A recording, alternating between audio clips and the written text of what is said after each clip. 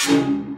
Son las últimas imágenes que acaban de llegarnos del presidente de Ucrania. Ya está en Bucha, se ha desplazado hasta la ciudad donde se ha cometido esta masacre, una matanza de civiles donde por lo menos 340 cuerpos han sido encontrados y algunos enterrados en fosas comunes. Y ha dicho que no descansarán hasta encontrar a los responsables de esa atrocidad. Y asegura que en estas condiciones es muy difícil seguir negociando con Rusia. Son las declaraciones que ha realizado Zelensky en Bucha. La retirada de las tropas rusas en torno a los alrededores de la capital de Ucrania ha hecho que salgan a la luz imágenes del horror que se ha vivido en las ciudades que rodean la capital. Como decimos, una de estas ciudades es Bucha, donde seguían más de 40.000 personas atrapadas durante los ataques. Las autoridades locales han dicho que la cantidad de cuerpos encontrados ya habría ascendido a 400 y las autoridades dicen que se trata de un genocidio a gran escala, probablemente el peor del siglo XXI. Lo califican como una masacre deliberada.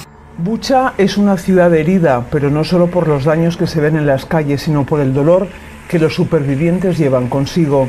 Han sido semanas de cruel asedio, de aberraciones que ahora salen a la luz, y no hay más que hablar con cualquiera de los vecinos. He visto a los soldados rusos disparar a muchos mayores hasta matarlos, y nadie les podía sacar de ahí. Hemos tenido que recoger muchos cuerpos y llevarlos a la iglesia, a una fosa común, dice Yail. Y añade, los rusos pararon un coche con una familia, con niños, dispararon y murieron todos. Son unos monstruos. Ucrania está acusando a Rusia de genocidio, pero el Kremlin niega todas estas acusaciones y acusa a Ucrania además de provocación. La ONU ha dicho que va a investigar si ha habido crímenes de guerra, tal y como denuncian muchos gobiernos de Occidente, que piden que se endurezcan más las sanciones sobre Moscú. Si se demuestra, esto es ya un crimen de guerra, lo es todo asesinato de civiles y la devastación injustificada de poblaciones.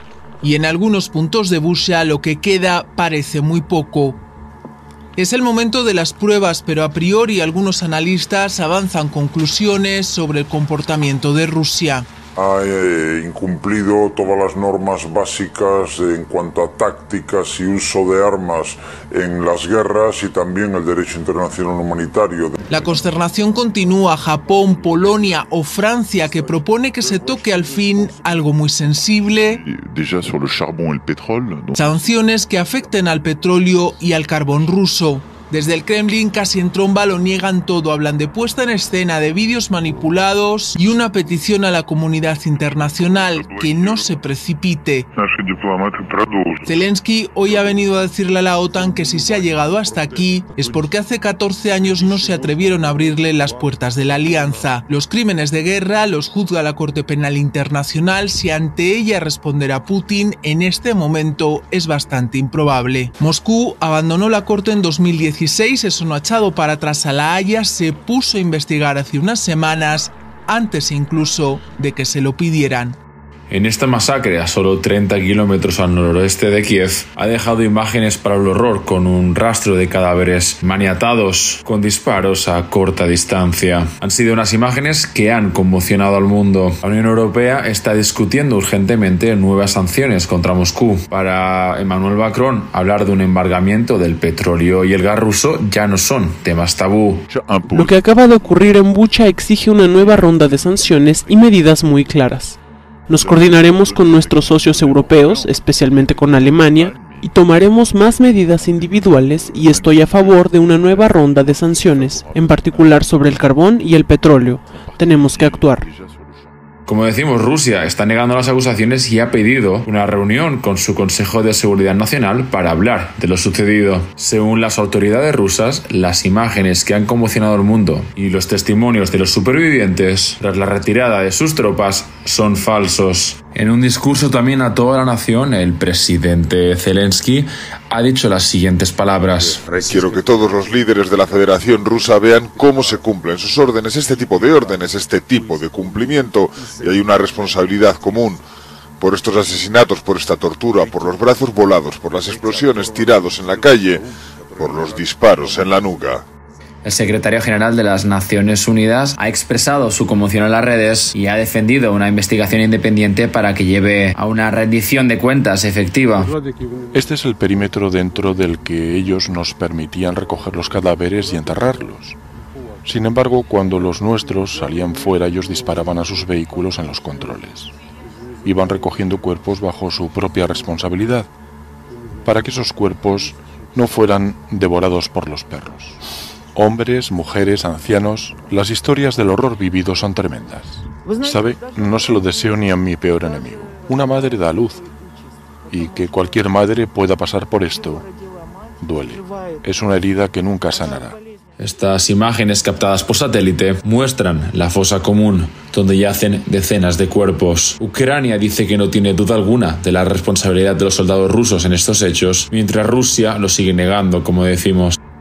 Y mientras todo el mundo habla de lo sucedido en Bucha, continúan por segundo día los ataques contra la ciudad de Odessa, la ciudad portuaria que da al Mar Negro, ha sido atacada por misiles. Rusia parece centrar ahora su estrategia de atacar el sur del país y la región independentista del Donbass. Moscú, que ha difundido imágenes de sus cazas en plena acción, habla de 14 objetivos destruidos, incluyendo puestos de mando y lanzaderas de misiles antiaéreos. Según los especialistas, en el sur del país, precisamente en el Donbass, es donde se encuentra la mejor parte de las tropas ucranianas y sin embargo también sorprende el ensañamiento con Mariupol, una ciudad de mayoría ruso parlante. Este es el interior del teatro bombardeado el 16 de marzo, con cientos de aparentes refugiados dentro, pero Rusia niega haberlo atacado. En Mariupol siguen cavando fosas para poder enterrar a los cuerpos que todavía se encuentran en las calles. Ucrania ha vuelto a abrir hoy corredores humanitarios, especialmente en Mariupol y en la región de Lugansk, con coches y autobuses privados. La retirada rusa de otros puntos está dejando un panorama desolador. Vemos como esta mujer está muy feliz, pues ha encontrado a su hija. Sin embargo, para esta otra madre es demasiado tarde. Su hijo ha muerto y ha tenido que enterrarlo ella misma en el jardín de su casa. Y mientras vemos un nuevo día trágico para la ciudad de Kharkov. Según el gobernador regional, al menos siete personas han muerto y cuatro han resultado heridas, entre ellas tres niños. El enclave, situado al noreste de Ucrania y próximo a la frontera rusa, ha sufrido graves daños desde el inicio de los combates, desde el pasado 24 de febrero. Varios misiles también impactaron en el puerto ucraniano de Mykolaiv, en el Mar Negro. Los servicios de emergencia ucranianos aseguran haber recuperado más cadáveres del edificio del gobierno regional que fue objeto de otro ataque ruso. El número de fallecidos se eleva a 36. Las sirenas de alarma volvieron a sonar en Odessa, donde se levantaron espesas columnas de humo en diferentes lugares de la ciudad. Las autoridades no han informado todavía de la existencia de víctimas, pero lo que hay con seguridad son daños en la infraestructura. Los puertos del sur han sido otro de los objetivos constantes de Moscú, que ha tratado de aislar a Ucrania de la entrada al mar y tratar de levantar así un corredor humanitario directamente hasta Rusia, en la región de Crimea. El Kremlin está volviendo a desplegar sus tropas hacia el este y el sur, y los generales ucranianos advierten de que se acercan grandes ataques.